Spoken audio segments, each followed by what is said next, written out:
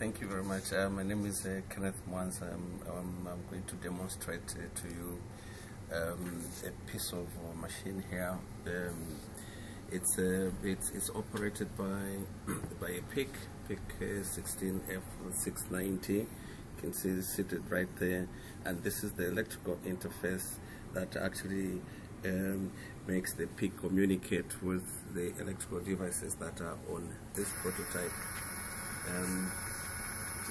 Uh, this is a prototype that has got, as you can see, it's got conveyor belts.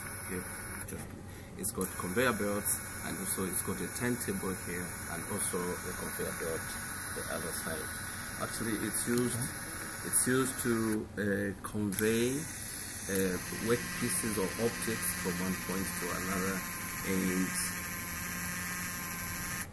as the objects are moving on the conveyor belts, they are checked by from, from point to point. Okay, this project uh, I started it with with a colleague uh, about two months ago, but for for for unknown reasons, my my colleague backed off, so I was all out alone, and actually it succeeded. So I'll uh, briefly explain how this works and I'll use this uh, side cutter as a metal, it will represent um, an object. Right.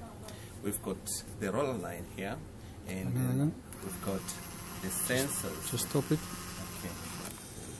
Okay. Okay, we've got the roller line here, and then we've got the conveyor belt here, and what you're seeing there is the switch, and this is the turntable and the switch also. You're seeing another conveyor belt there. There's a switch and the master control switch there, and the switch at the end here. So when an object comes in here, the sensor here picks it up. When it picks it up, the motor starts moving. So the conveyor belt will only stop if the object actually comes across the switch for a checkpoint, say for example control purposes when um, they're packaging um, materials. So when the object comes there, it stops for a while, it is timed conveniently for it to be checked, then the belt will start running again for it to be actually picked by the, the turntable. Okay, got it running there, it stops there, and after some time it starts, the turntable actually will receive the parcel onto it, and when it comes to the sensor, the belt will stop and then it will turn, forwarding it into that direction. Okay, actually, um, we got it going like that, and we go, should be able to continue in that direction. So the workpiece actually moves from the turntable through that angle onto the next belt. And on the next belt, we've got switches that will have to stop the workpiece for inspection, so, so to speak. Mm.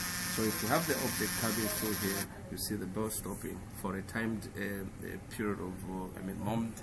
And then after inspection, the for, for the workpiece to go through, we've got an operator here. The idea of having an operator here is because you see there's a red end here. You need a loading bay. You need another piece to pick it up, the, to pick up the object. So the, the operator here must ensure that there is no object standing here. For him to, for him or her to, to, to press the button here, and then the workpiece moves forward. And the last point is the switch that you see there, where the workpiece will stop and be picked for further processing or transportation, so to speak. So immediately the workpiece stops there, you see the turntable flashing, getting back to the original position in the readiness to receive another workpiece. Okay, there you go. And it turns back to, to the original position. Okay.